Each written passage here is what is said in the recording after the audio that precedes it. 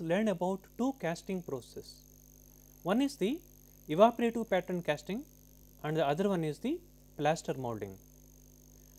So, first let us learn about evaporative pattern casting and then we will see the plaster molding process. First let us see the evaporative pattern casting. What is this evaporative pattern casting? This is also known as expendable pattern casting and this is also known as lost foam casting. And let us see before going to the what is a principle involved in this process, let us see the history. So, the first patent for an evaporative pattern casting process was filed in April 1956 by Harold F. Shroyer. So, in his patent a patent was a pattern was machined from a block of expandable pattern polystyrene pattern and it was supported by traditional green sand during process during pouring process. Here we can see the pattern was supported by traditional green sand and this process is now known as full molding process. But later some modifications were done and we will see them later. And in 1964 MC Flemings used unbonded sand for this process. You see here the first person the Harold Shroyer used what say traditional green sand for supporting the pattern whereas in 1964 MC Flemings used unbonded clean and dry sand for supporting the pattern. So, that way the second step was different from the earlier process. Robinson Foundry at Alexander City, Alabama was the first North American foundry to use evaporative pattern casting process. General Motors used this process to produce the 4.3 liters V6 diesel cylinder head during 1981. A study found in 1997 that this process accounted for approximately 1 lakh 40,000 tons of aluminum castings in the United States. Now, let us see the principle of this evaporative pattern casting process. So, here the pattern is made up of polystyrene or styrofoam. So, this is the polystyrene pattern or the styrofoam pattern and here we can see the pouring cup is there and this is the sprue and the whole thing is the pattern whose shape is similar to the casting which we want. Now, we have to make a ceramic slurry or a refractory slurry such that when we apply a coating around this pattern there will be uh, what say micro what say pores will be there. So, that uh, uh, permeability will be better during pouring hot gases can escape. So, it is coated with gas permeable refractory slurry and then it is dried. Then what happens? Hard shell, thin hard shell around the pattern is created. Now, you see here we have to take a molding box, only one molding box, not two boxes. Inside the molding box, we have to place the pattern. Remember, this pattern is already coated with a refractory slurry, means a thin coating is created. Now, that pattern we have to place inside the molding box. Then sand is packed around the pattern, dry sand is packed around the pattern, it should be what say packed. Then what happens? Sand support is created around the pattern. Then what will happen? Molten metal is poured into the portion of the pattern that forms the pouring cup and sprue and here we can see this whole thing is the pattern and this is the pouring cup. So, this process uh, is somewhat different from the other process in one sense that in all the previous process. So, before pouring the molten metal we remove the withdraw the pattern from the mold, but here the most specialized uh, special feature is that we will not remove the pattern from the mold. Without removing or withdrawing the pattern from the mold, we start pouring the molten metal. So, that is the most interesting feature of this process. Now, molten metal is poured into the portion of the pattern that forms the pouring cup and sprue. So, here we pour the we start pouring the molten metal. Then what will happen? As the molten metal enters the mold, the polystyrene foam is vaporized ahead of the advancing liquid. One side molten metal is coming and it is falling on the what say polystyrene pattern or the evaporative pattern, then what will happen? Within fraction of seconds this pattern will be evaporating. So, it will be going in another way. One way it is coming and another way the vapor is going out. Thus, so as we keep pouring more and more metal, more and more pattern will be evaporated and it will be escaping. How long this will continue?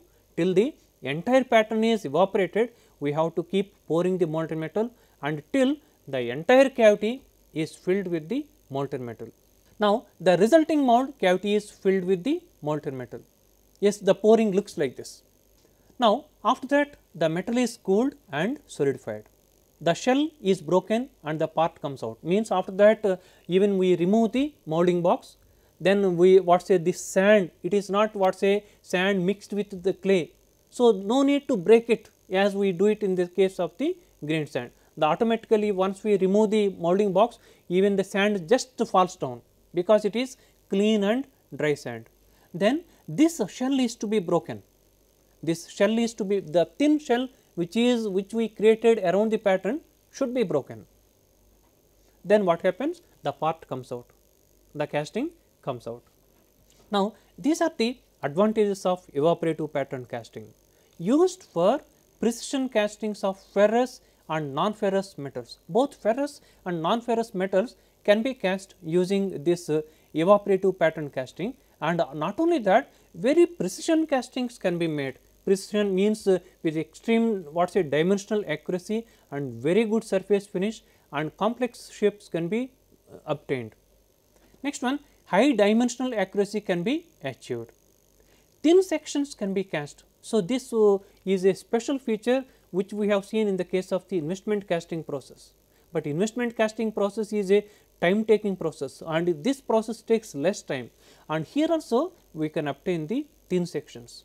Next one complex shapes can be cast. So, this is also a special feature which we which we can see in the case of the investment casting process. So, here also we can make the complex shaped components, but with less time. Now, another advantage is one piece flask less expensive and easier. In the case of the green sand molding generally we use two boxes sometimes even three boxes. One is the lower molding box that is known as the drag, the upper molding box is known as the cope. So, these two boxes must be assembled carefully otherwise there will be some mismatch will be there. But here there is no such problem there is no mismatch between the cope and drag. First of all there are no two molding boxes there is only one molding box is there. So, there is no question of mismatch and also the assembly time that will be eliminated. Next one fewer steps are involved compared to the sand casting process. In the case of the sand casting process we have to prepare the molding sand, we have to mix the additives, we have to mix the clay, we have to mix the water and that should be molded for a predetermined time. Then we have to uh, carry it to the molding shop, then we have to make the mold and it should be compacted then it should be pattern must be withdrawn very carefully again the two molding block boxes should be assembled. So, so much of time is involved in the case of the green sand molding process. Here very few steps are involved just to make the what say polyester pattern then make a what say coating around that and pack it inside the molding box start pouring that very simple. No need to mix binders or additives. So, in the case of the green sand molding process, we mix the binders and additives. What happens when we mix binders and additives? So, these cause pollution inside the plant, whereas in the case of the evaporative pattern casting, we do not mix binders or additives. So, as a result, there will be clean environment within the plant. Next one, multiple castings can be combined in one mold to increase pouring efficiency. Suppose if we are want small castings, so suppose we want to say 4 or 5 small castings. So, no need to make 5 what say molds. So, all these can be joined together, assembled together for all these what say 4 patterns, they all can be what say kept inside a single molding box and it can be compacted with the sand then simultaneously molten metal can be poured means simultaneously we can get castings of 4 or 5 castings. So, no need for skilled labor. Once there are skilled labor, they will be demanding higher remuneration. Next one, fettling and machining is minimized. So, this is another drawback in the case of the green sand molding. Fettling means after the solidification is over, right, we have to break the sand. So, that is the shakeout. Then metal will be solidified inside the riser, metal will be solidified in the sprue and in the gating system. So, this must be cut off. So, that is the fettling process. So, sometimes what say labor have to be used for that pur purpose or uh, what say heavy machines have to be used and uh, that consumes time. So, that is minimized or eliminated in the case of the evaporative pattern casting. Now, high levels of sand reuse are possible.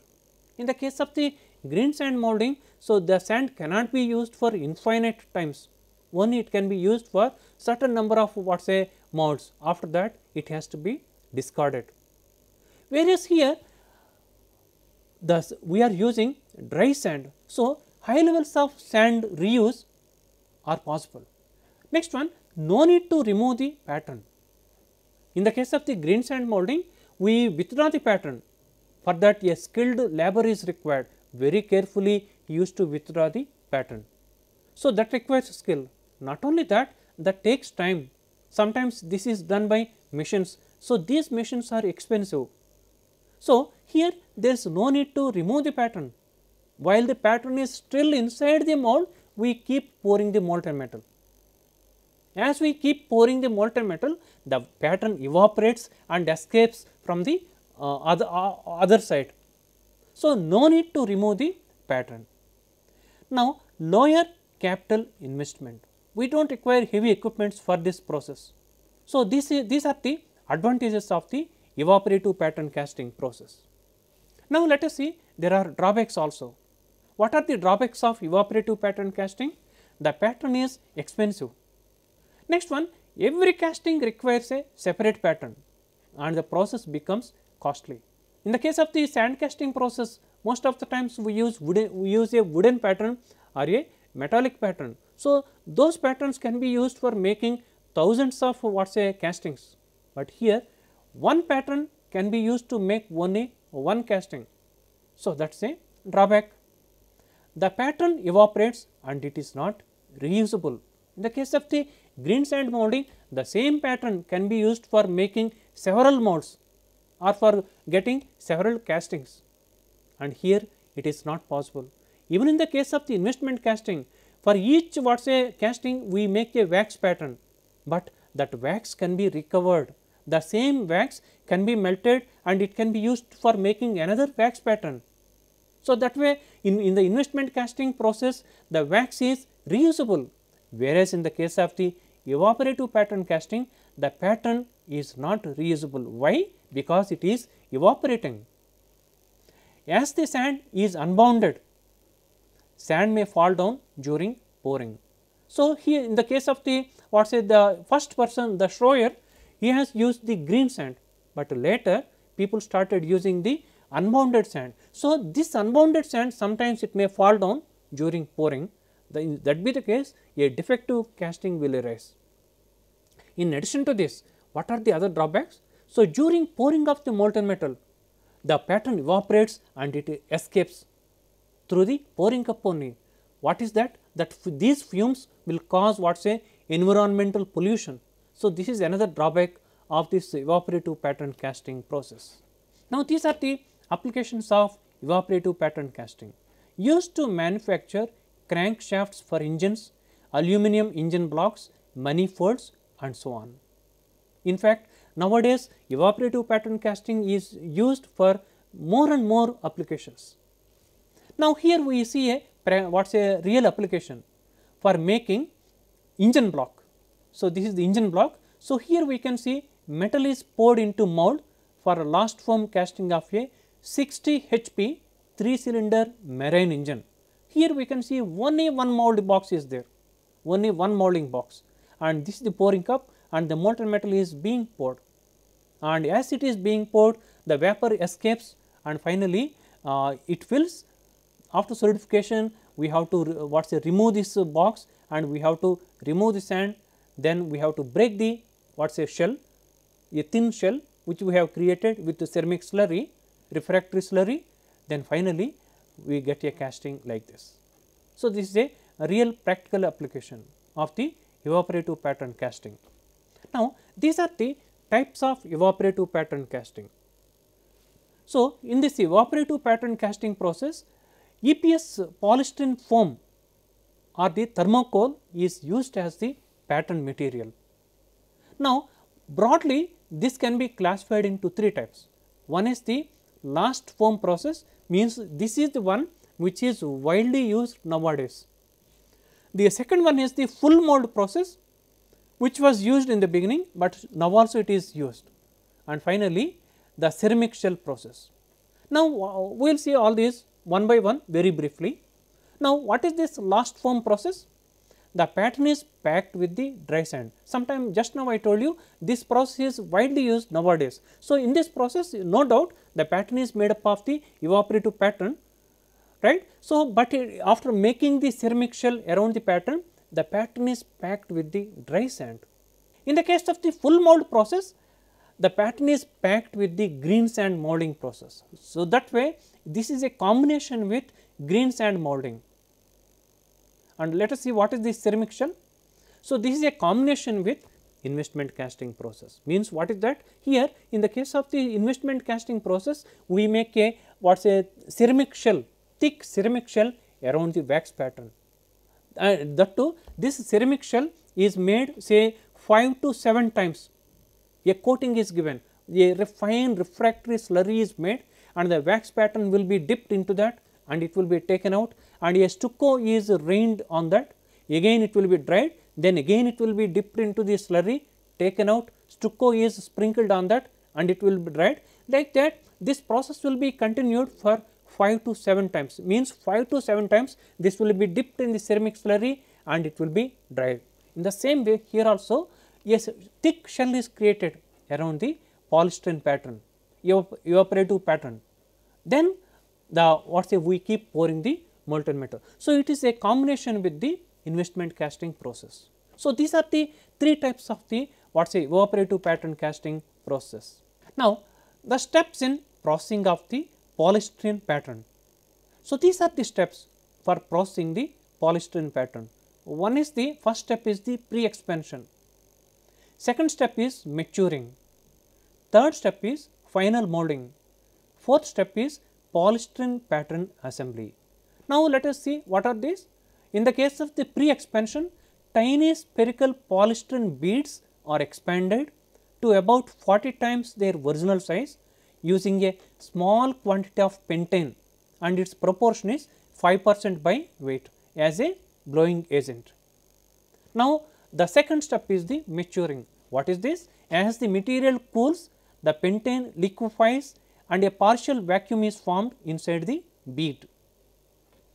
Next one, the third step is the final molding. In this final stage, the pre-expanded stabilized beads are reheated with steam in a mold. And the next step is the polystyrene pattern assembly. In this process, the pattern is assembled by gluing polystyrene foam runners and risers. Sometimes even if the size of the casting is small, several patterns are joined together and assembled. So, that comes under the polystyrene pattern assembly. Now, these are the steps involved in the evaporative pattern casting process. First step is make the die.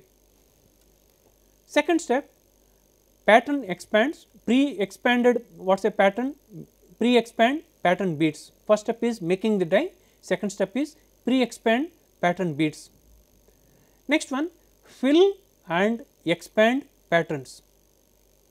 Third step assemble patterns. Fourth step dip and dry cluster. We have to make the ceramic slurry. So, in that ceramic slurry the assembly or the pattern will be dipped and it will be clustered. Clustered means what? If there are several patterns they will be assembled together. If it is a single pattern as a what a riser and a sprue are to be glued. So, that also comes under this clustering. Next one invest cluster. So, we have to make the ceramic uh, what a shell around that. Next one pouring. While pouring the what a pattern evaporates and comes out and molten metal fills that mold and it solidifies. Next step is cut off. If there are more castings multiple castings, so this should be cut off and if it, even if it is a single casting the riser and the sprue must be cut off. Next step is the inspect castings. Finally, shipment of the castings. Now, let us see a comparison between lost wax process and the evaporative pattern casting process. Lost wax process means it is the investment casting process and here this is our present uh, topic the evaporative pattern casting process. In what way these can be compared and which one is better? Let us see. Now, composition of pattern first uh, what is a comparison? In the case of the lost wax process or the investment casting process the pattern is made up of wax blends.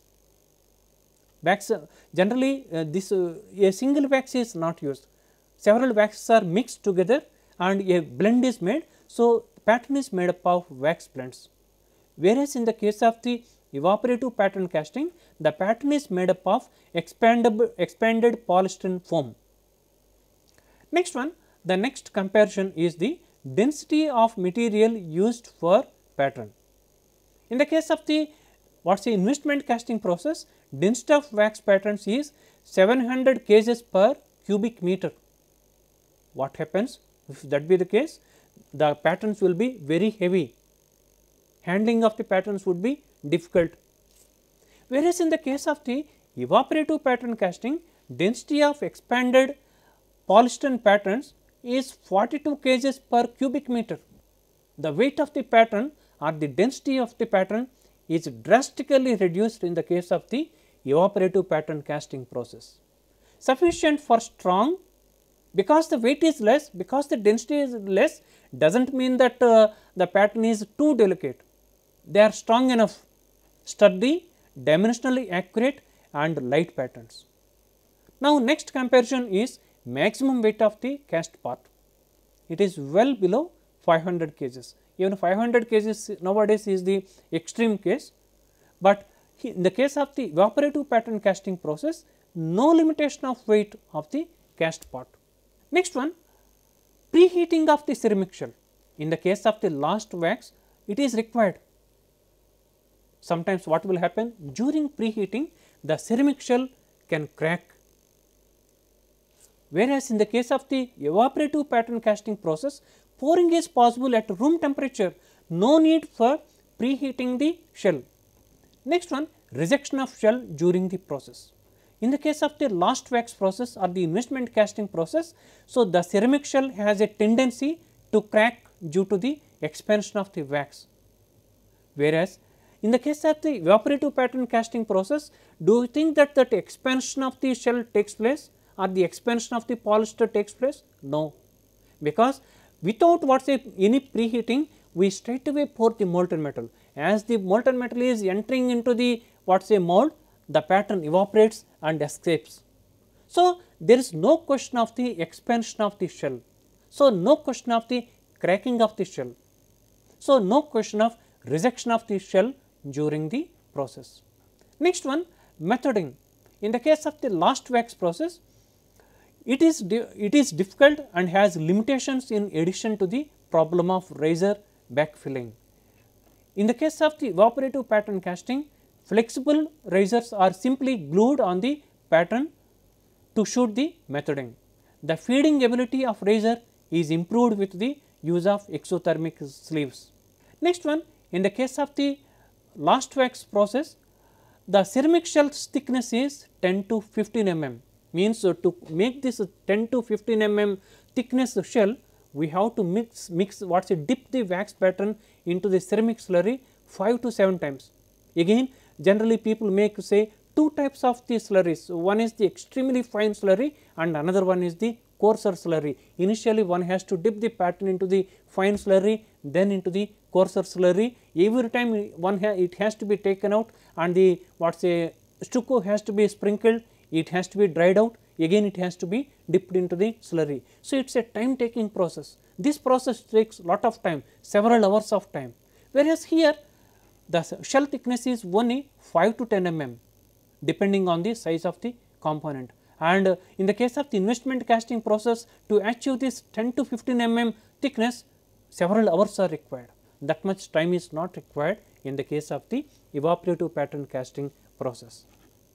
So far we have seen uh, several comparisons. In all these comparisons, we have seen that evaporative pattern casting is superior to the investment casting process or the lost wax process.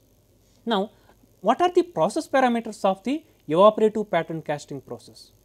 So, these are the there are 5 types of the parameters. First type is the molding sand based variables. Second one is the vibration based variables. Third one is the vacuum based variables.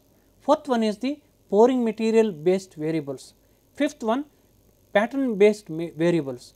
Sixth one coating based variables and in the first one that is the molding sand based variables type of molding sand, shape, size and size distribution. What is the shape? Is it angular, subangular or round? So, that is the shape of the what says molding sand and the size, what is the mesh size and size distribution. So, these come under the molding sand based variables. Next one vibration based variables, frequency, amplitude of vibration and time of vibration. So, after the sand is compacted inside the sand what is a molding box, so it is vibrated so that sand settles down inside the molding box because it is not a green sand, it is dry sand. So, that is why it is given vibrations. Now, the frequency of that vibration, amplitude of the vibration and time of the vibration, these come under the vibration based variables. Next one vacuum based variables, degree of vacuum imposed. So, that, that is the only variable among the, under the vacuum based variables. Next one pouring material uh, what say based variables, pouring time and temperature.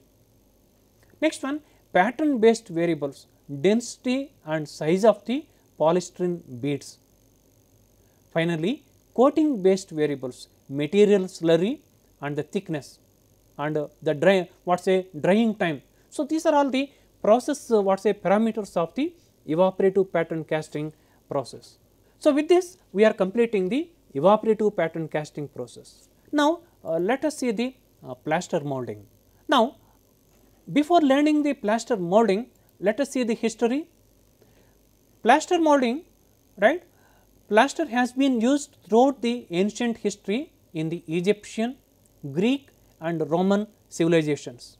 Primitive plastering was carried out using clay and mud to keep out the cold and wet. Plaster moldings have been used for classical architectural design from the ancient Greeks. Now, following the fire of London Bridge in the year 1912, King John ordered that all shops, brewers and bakers should have their walls plastered inside and outside to make them safe from fire. So, from this we can see this plaster has been used for centuries for several purposes. During 17th century decorative plaster moldings were created, art items these were created. After 18,000 AD gypsum or plaster of Paris became more common. So, in the beginning what was the material used?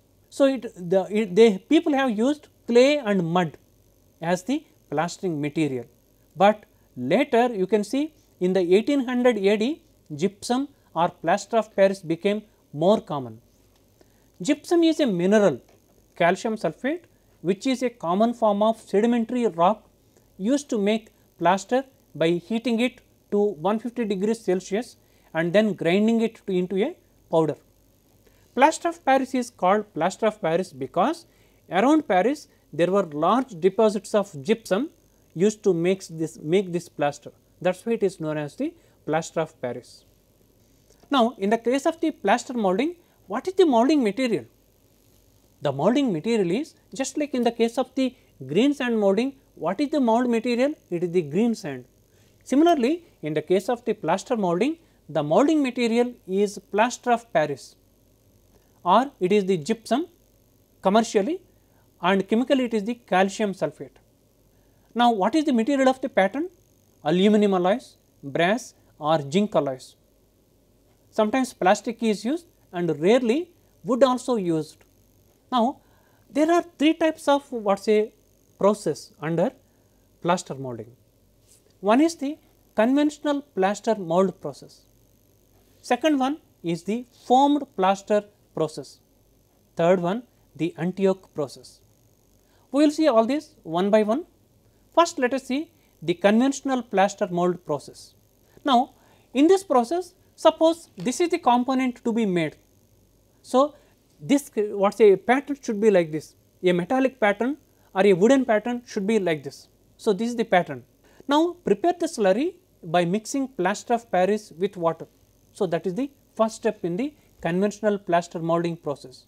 Now plaster of Paris and water proportions are 5 is to 8 means plaster of Paris should be 5 parts and water should be 8 parts. So prepare that slurry by mixing these two ingredients. Second step sprinkle talcum powder over the pattern. So this is the pattern over the pattern sprinkle talcum powder so that the slurry may not be sticking to the pattern. Next one apply potting agent, tincture or mold soap over the pattern. So, this also will enable us to prevent the sticking of the slurry with the pattern. Now, place the pattern inside the molding box. So, this is the molding box. Inside this molding box, place the pattern. Now, pour the plaster slurry over the pattern in the drag. So, inside there is already pattern. Now, around the pattern we have placed the molding box. Now, pour the plaster, plaster slurry over the pattern in the drag molding box. Now, this plaster will be setting in few minutes. After that the on the four sides there are four what say boxes are there right. So, these must be separated.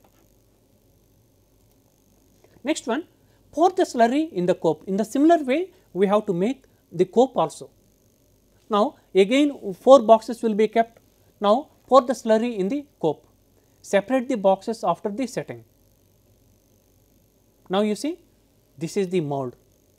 Now, scrap off any plaster that might have run down. If any plaster is unnecessarily occupying anywhere that must be scrapped off or that must be broken and eliminated.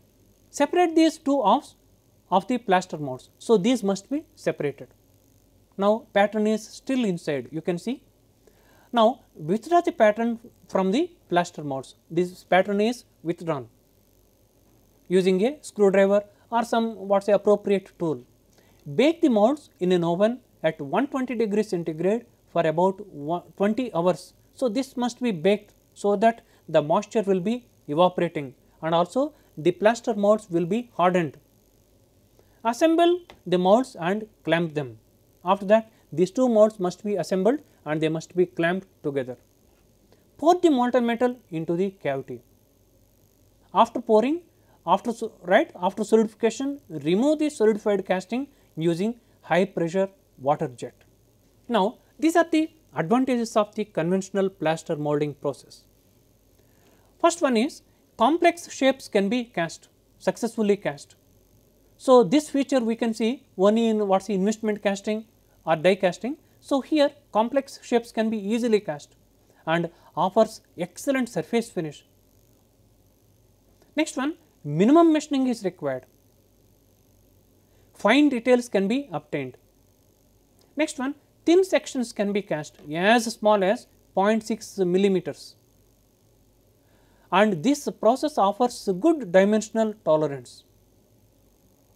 Setting of mold takes less time less than 15 minutes time. Now, what are the limitations of conventional molding process? Not suitable for ferrous castings. The sulfur in gypsum reacts with iron and results in defects. So, this gypsum contains sulfur. So, because of that there will be some defects will be there. So, not suitable for making ferrous castings. More expensive than sand castings. In the case of the sand castings, uh, the same sand can be used for making several castings, whereas in the case of the plaster molding, we have to use the plaster of Paris and once we use it that is all. We have to break it and that can't be used again. So, it is more expensive than the sand castings, not suitable for large castings, 30 grams to 7 kgs. Whereas, in the case of the sand castings, even 10 tons castings are nowadays made using sand castings. Plaster is not reusable, so that increases the cost of the production. Next one baking cost is extra. Thermal conductivity of the plaster is poor, so slower solidification. So, the properties may be affected. Next one low permeability gas defects arise. What is this molding medium? It is the plaster of Paris. So, it is less permeable during pouring or during solidification if any hot gases are arising. So, they cannot escape through the molding medium. So, it is it has got the low permeability. So, hence there will be gas defects. Now, let us see the second process the foamed plaster process. The foamed plaster process is a modification of the conventional molding process, conventional plaster molding process. In the case of the conven conventional plaster molding process, the first one, what was the drawback? It has got the very less permeability. It does not allow hot gases to escape through the plaster mold. So, to overcome this what is a drawback, this limitation, some modification has been done. Finally, people arrived at the foamed plaster process. So, it is similar to the earlier one, but some modification is there. What is that? We will see. Prepare the slurry by mixing plaster of Paris with water and the plaster of Paris and water proportion is 5 is to 8 means uh, what is a proportion of the ingredients is exactly same as that of the earlier one. Blow now here the modification comes into picture. Blow air into the slurry half of its volume should be with air bubbles. So, once it the slurry is made we will be blowing air into the slurry so that there will be so many bubbles half of the slurry is filled with the bubbles. Now, while the bubbles are still present in the slurry pour the slurry with the bubbles over the pattern in the drag. Now, the process is similar same way only here the what say variation is there blowing air into the slurry. Now, pour the slurry with the bubbles over the pattern in the drag. Now, slurry sets in the drag box. Next one repeat the process for the cope also, cope also can be made in the same way. Now, bake these two molds in an oven at 120 degree centigrade for about 2 hours sorry so about 20 hours. Then what will happen these molds plaster molds will be hardened then any moisture is present that will be evaporated. Now, inside there were bubbles were there now, because of that the bubbles the air bubbles the permeability will be enhanced permeability of the molding medium will be enhanced. Next assemble the molds and pour the molten metal. The process same like the first one only difference is here we blow the air into the slurry. Now, what are the advantages of the foamed plaster process? Good permeability, no gas defects because we have what say filled half of the slurry with the air bubbles because of that the permeability is enhanced significantly. Next one premature setting of the slurry does not arise. These are the disadvantages of the foamed plaster process. Strength of the mold is reduced. Why? In the case of the first one the entire mold is filled with the plaster, but here half of the mold is filled with the air bubbles. So, naturally the strength will be less. Next one the setting time is more. Maximum weight of the casting is about 5 kgs whereas in the case of the first one up to 7 kgs can be made because here the mold's strength is less. So, only 5 kgs can be made. Finally, the third one the Antioch process. Now, again why this Antioch process? Plaster of plaster, uh, what say plaster molding is very good. It offers us very good dimensional accuracy, very good surface finish. But the only drawback is the mold or the molding medium does not have sufficient permeability means it does not allow hot gases to escape through that. That is why people made the first what say alteration they mixed the what say air into the slurry with the slurry. So, they could enhance the what say permeability, but what happened the strength came down. So, instead of 7 kgs people were able to make only 5 kgs casting. So, strength came down. So, now again this became a challenge strength. So, we people wanted to increase the permeability and also they wanted to increase the strength. So, that is how they landed in the Antioch process. What is this process? In this process strength is enhanced and also the permeability is also enhanced. Now, preparation of the slurry first step. Now, what are the ingredients of the slurry? Fine silica sand 50 percent. Here we use fine silica sand whereas in the first two what say categories we do not use the fine silica sand. Now, gypsum 40 percent and talc 80 percent and Portland cement sodium silicate will be 2 percent. In addition to that 50 per, now water will be 50 percent of the above ingredients. You see even the pro proportion of the ingredients is different. Here there is a say major difference. Fine silica sand will be 50 percent, gypsum 40 percent and talc 8 percent and this is the 2 percent. In addition to that there will be water 50 percent of these overall ingredients. Then all these will be mixed together. Now preparation of the mold. Pour the slurry, after we prepare the slurry, pour the slurry over the pattern in the drag. In about 7 minutes, plaster develops and uh, gains good strength. Pour the slurry over the pattern in the cope also in the same way. In about 7 minutes, plaster develops and uh, gets good strength. Next one, withdraw the patterns from the plaster molds as usual. Now dry the molds for 6 hours and bake in oven for 15 hours. Assemble the molds and pour the molten metal. Now what are the advantages of Antioch process? Improved strength of the mold, larger castings can be made. Why? We are mixing 50 percent of the fine silica sand. So, because of this presence of the silica sand, the strength of the mold will be more. That is how larger castings can be made. Now, incorporation of the chills is easy. Conductivity of the mold is very high. In the case of the first one, the conventional molding process we have seen, the conductivity of the mold is very poor. Why? Plaster of Paris offers very poor, what is a poor conduction of the heat. So, here because we are mixing fine silica sand, conductivity of the mold will become high, hence faster solidification. Once there is faster solidification, mechanical properties of the casting would be improved. Now, better permeability, less chances for gas defects because we are mixing silica sand what happens because of the silica presence of the silica sand it leaves some pores somewhere everywhere. So, because of these pores hot gases that might arise during pouring or solidification will be escaping through the mold. Improved mechanical properties. But what are the limitations of this Antioch process? Poor sand recovery. So, that is the drawback of this process and process is expensive. Again we have to mix the fine silica sand. It is not in the case of the sand uh, sand casting process the entire sand can be recovered only little uh, sand is uh, what say burnt. So, there is a sand loss, but most of the times most of the sand is reused it is recovered, but here the, the sand recovery is very poor and the process is expensive. We are mixing the plaster and that plaster cannot be used the process is expensive. Now, these are the applications of the plaster molding process means overall overall. So, these are all the applications of plaster molding used to cast brass, bronze, aluminum, magnesium, manganese and their alloys. And remember this cannot be used for making ferrous castings.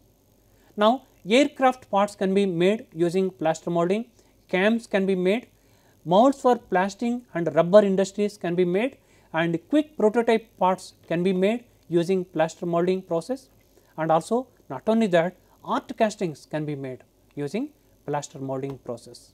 And here we can see use of plaster molding in making statues for making art castings. So, initially one has to make the plaster mold into that plaster mold one has to pour the molten metal then we get the statues like this. Friends in this lecture we have learnt about two special casting process. Uh, one is the types of what say evaporative pattern casting process. So, again this evaporative in this evaporative pattern casting process we use the expanded polystyrene of or the foam or it is the thermocol is used as the pattern material. Now, this is broadly classified into three types one is the lost foam process, next one full mold process and the ceramic shell. In the case of the lost foam process, the pattern is packed with the dry sand and this is widely used nowadays. Whereas, in the case of the full mold process, it is uh, uh, what say the pattern is supported with the green sand and in the case of the ceramic shell, it is a combination of the investment casting process. A thick ceramic shell is created around the polystyrene pattern similar to the investment casting process. So, that is how we have seen the evaporative pattern casting is superior than the lost wax process or the investment casting process. Then we have seen the plaster molding. The plaster molding is uh, what is classified into three types. One is the conventional plaster mold process, the second one is the foamed plaster process and the third one is the Antioch process. In the case of the conventional plaster molding process, only plaster of Paris is used, plaster of Paris and water. Plaster of Paris and water, the proportion is 5 is to 8, 5 parts of plaster and 8 parts of water is used to make the slurry and that slurry is used to what say flow around the pattern. Finally, we make the molds and we pour the molten metal. But the drawbacks of this process is that it has got the less strength and less permeability. In the case of the foamed what is a plaster process, the plaster is made similar to the first one, but here air bubbles are blown into the slurry 50 percent is filled with the slurry. Then we this slurry along with the air bubbles is poured over the pattern. So, permeability is enhanced, but strength will be reduced in this case. So, in the third process again the efforts have been made to enhance the strength also 50 percent of the ingredients will be fine silica sand and the rest of the 50 percent will be plaster and uh, what say other ingredients. In addition to this 50 percent additionally will be added. What is that 50 percent? Water. Then the slurry will be made. So, in the case of the Antioch process because we are using fine silica sand the strength is significantly enhanced. So, it can be used for making very big castings and also the permeability is improved. Mechanical properties are also improved as the solidification will be improved. So, as the solidification is faster in the case of the Antioch process. But the drawback of this plastering plaster molding process is that the plaster is expensive and the plaster cannot be reused. So, that way the cost of the production goes up. So, with this we are completing the plaster molding process also. So, we will meet in the next class. Thank you.